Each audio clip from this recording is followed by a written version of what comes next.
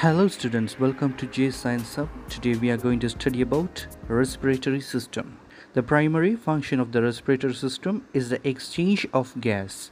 Respiration in human is a complex process, so it takes place in three different stages. The gas exchange between external environment and lungs, gas exchange in alveoli, and cellular respiration. So first we discussed about the gas exchange between external environment and lungs. Intake of oxygen into lungs and removal of gaseous waste in cells occur during external gas exchange. Look at this picture. It shows the human respiratory system and its parts. So the entry point here is the nasal cavity. Through the nasal cavity, the air is enter into the pharynx which is a common part for digestive as well as respiratory system. Then it enter into a larynx, then into a trachea. There are two lungs present in human, right? So trachea further divided into bronchs. These bronchs are branched into bronchioles inside the lungs. Lungs is protected into a thoracic cavity by rib cage. This rib cage is made up of ribs. So let's discuss about these parts more deeply okay. So the internal surface of the nasal cavity is covered with mucus. Also there are numerous cilia present on the lining of the nasal cavity. This sticky mucus and the cilia prevent the entry of bacteria dust and other waste found in the inhaled air.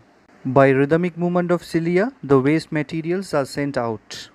These materials are collected at pharynx and removed out with saliva there are multiple changes occur when the inhaled air passes through the nasal cavity. Some changes are moisturizing of inhaled air, warming up of inhaled air up to body temperature, removal of foreign materials from inhaled air.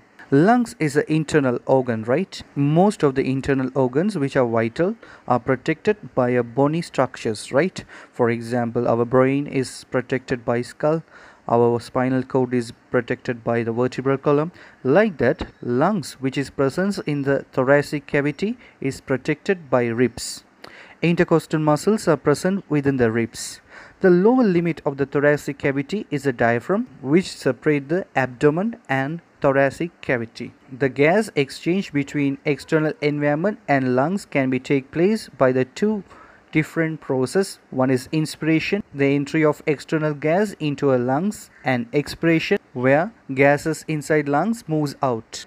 Inspiration and expiration is take place due to the muscular movement. Before studying these inspiration and expiration, you should know the relationship between pressure and volume. Pressure is inversely proportional to the volume. It means if you decrease the volume, it increase the pressure. Vice versa, if you increase the volume, the pressure will be decreased. The process of inspiration and expiration is take place due to the gradient which form between internal lungs and external environment. Okay, so there should be a pressure difference between internal lungs as well as external environment. So during the process of inspiration, the air should enter into the lungs, right? So the volume of the lungs should be increased. Then only the pressure inside the lungs will be lesser than the external environment. Okay, but lungs is protected inside the thoracic cavity. So if the volume of the lungs should be increased, the volume of the thoracic cavity should be increased, right? So in order to increase the volume of the thoracic cavity, intercostal muscles contract. So the rib cage move up and the sternum moves forward.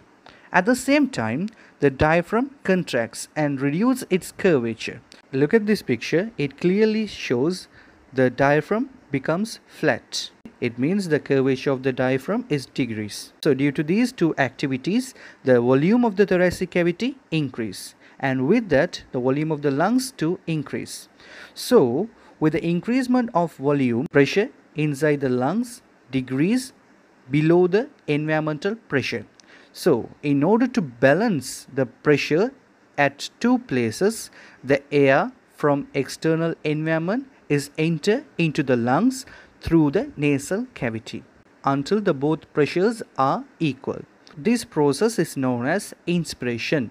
During inspiration, we inhale mostly oxygen Okay, these contraction of intercostal muscles and diaphragm are temporary.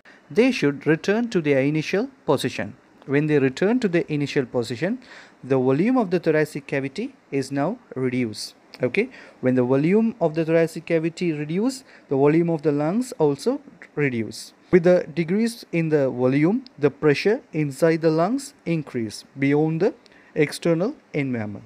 So the air presence inside the lungs move out from the lungs through trachea and then through nasal cavity and enter into the external environment until the pressure inside the lungs and the external environment is similar. The exhale air mainly contain carbon dioxide and water vapor. So now you understand the mechanism of inspiration and expiration. Okay. So I hope now you all understand the gas exchange between external environment and lungs. So this is the first stage during the respiration process of human. Okay. In the next video, we will discuss about the other two stages, the gas exchange in alveoli and cellular respiration. Thanks for watching. Like, share and subscribe J Science Hub for more videos related to science.